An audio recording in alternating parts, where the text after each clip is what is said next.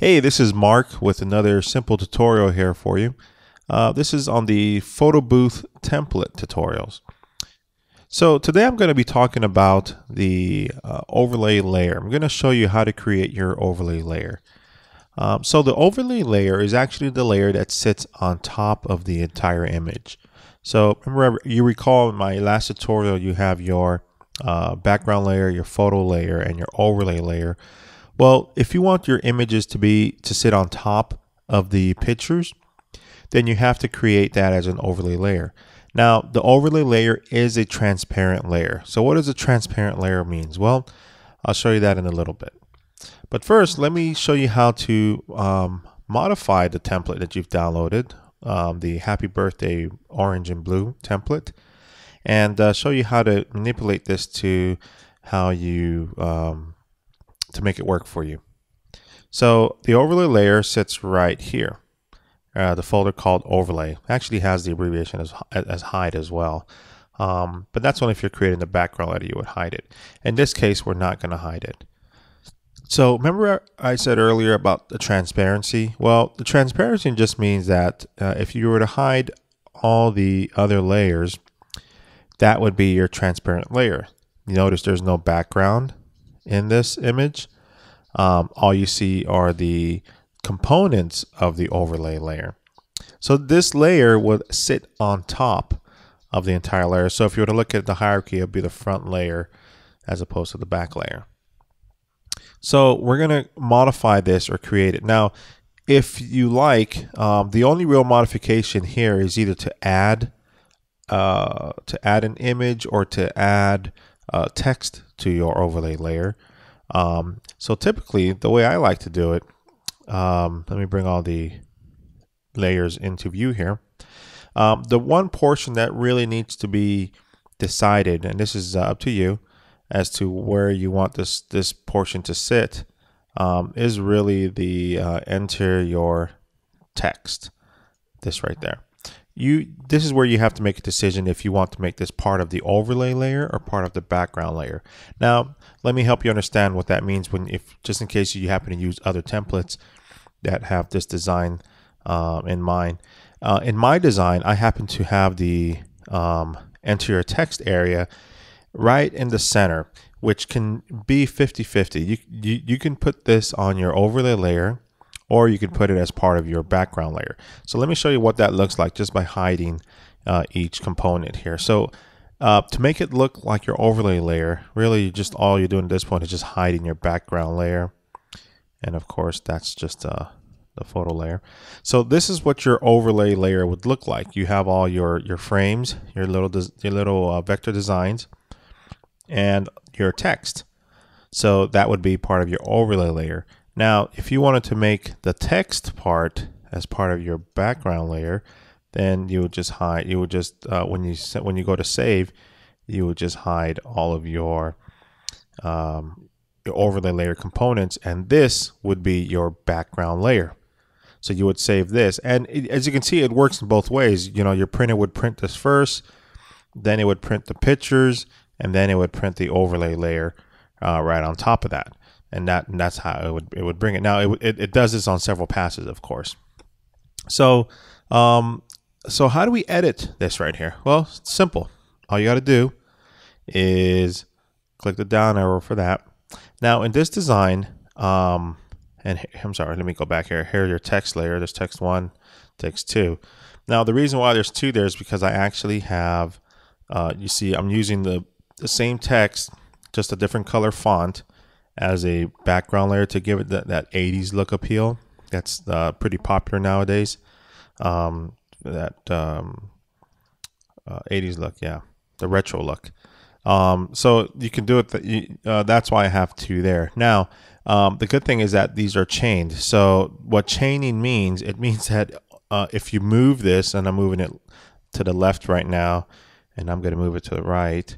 If you move it left and you know up, down, left, and right, both layers will move together.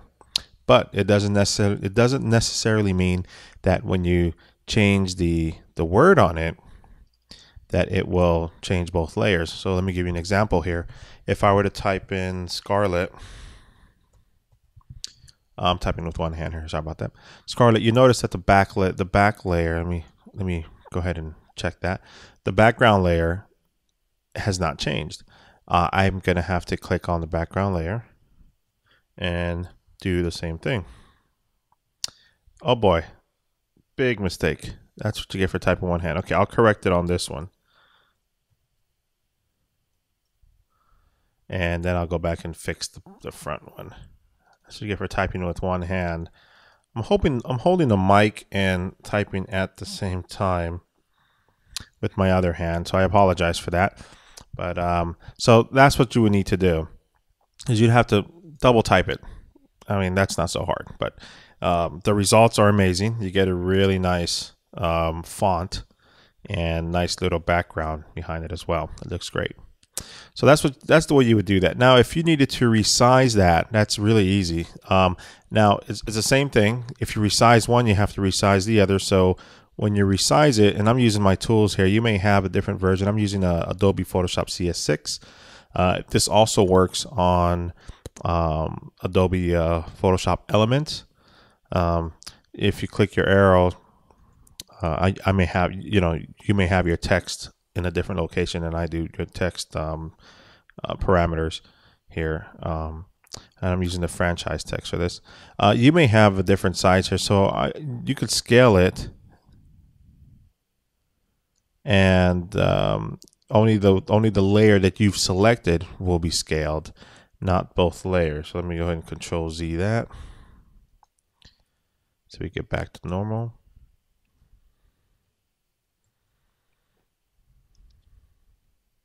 Okay, I don't, it looks like it, that's not working. So let me go ahead and uh, click there and see what size that, that's it. It's a 130. Okay, so I'm going to change this one to 130 as well. Doesn't look like it's wanting to change.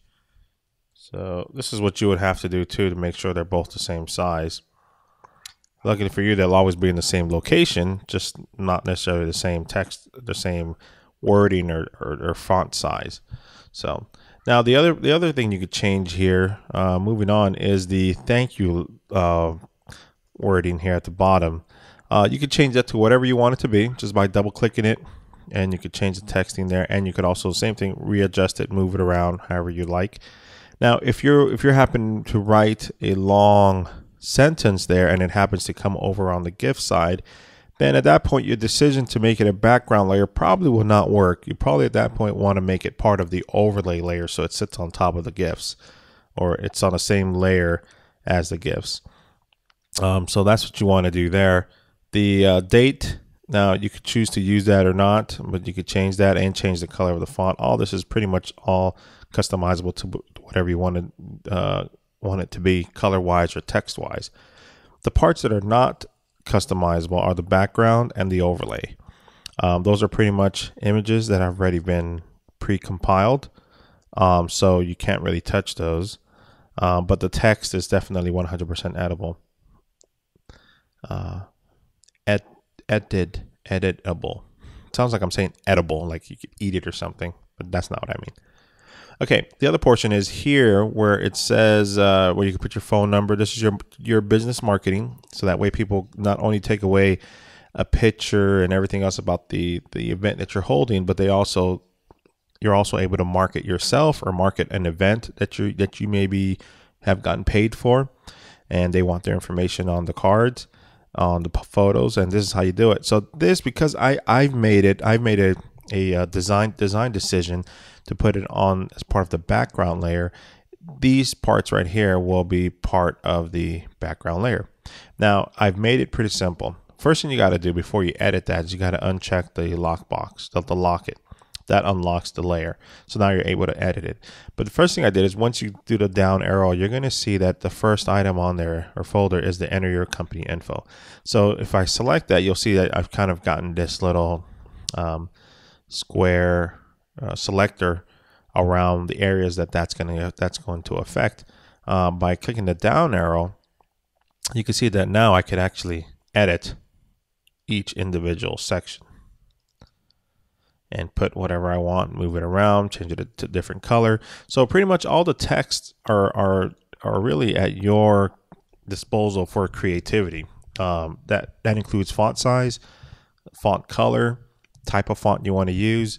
Uh, that's really all up to you. Um, I've given you a pretty good starting point, and if you like it, you like the way I've designed it, then you just leave it like that and just type away. You know, keep life simple. Uh, other than that, if not, then you know you're more than welcome to change it. Make it your own. So now that we've decided to, now that we've made our changes to this, um, to the text area of the template, now we want to go ahead and um, save the um, the overlay layer. So what I'm going to do first to do that is I need to first, now this is in Photoshop and the same for Element. I need to go to my background um, eye icon and go ahead and make that uh, invisible. I also want to do the photo uh, spots because the photo spot really is just a placeholder to kind of give you an idea of where the pictures are going to be. So that it's not really a necessary layer, but visually it's great because then you can kind of see where you're at. Um, close that out. And so now I have my overlay layer. And in this instance, I've decided to keep the uh, text layer where I entered the my client's information I decided to make that as part of the overlay layer. Okay, so to save this, all you have to do is go to your uh, Photoshop file and save as. And first thing you want to do is make sure you change your name to overlay or you know save the file as an overlay. If you're using the uh, Breeze system software, this is the file name that it's looking for when it sent when it sends it to the printer to be able to put that as the top layer of the of the finishing touches of your photo. Uh, next thing is you want to do is make sure that it's a transparency and the transparency file extension for that is the PNG file which allows for transparency. So right there you'll see it uh, it's changed it as soon as I went to my format and selected that uh, as the PNG file. Uh, it changed it right here as the extension. So now it's overlay.png file. And of course, then at that point, all you have to do, and I'm saving in a new location here, is click save. Then it'll walk you through the process. Um, the PNG options, the defaults are usually okay. So click OK. And there you have it your layer file has been saved. Now let's go ahead and check that. Uh, the way I do that is I go here and uh, let's see. Uh, going the wrong place. Let's see. Photo booth files. Oh, you know what? Actually, I think I saved it on my desktop here. Um, and I saved it in here. Yeah, there it is. And let's see that generate, and there you go. Apple gives us this nice little cool window here. So you can see it's transparency because it's actually white background. Um, and uh, there's there's Scarlet and there's all the little uh, vector shapes that are part of the uh, overlay layer. So this will sit right on top of your your photo. So that's it for the overlay layer. Uh, my next tutorial will be on to, uh, creating the background layer. So uh, once again, thank you for stopping by and downloading the Happy Birthday Orange and Blue uh, Photo Booth template. And I hope that you like the way we create our templates and uh, uh we look forward to creating more templates so you can use and, and uh, really boost your business, put you, uh, put you on a different level and um, make you look very professional. this is Mark with Mark Shatter Photo um, and thanks for coming by and visiting our website. Thanks.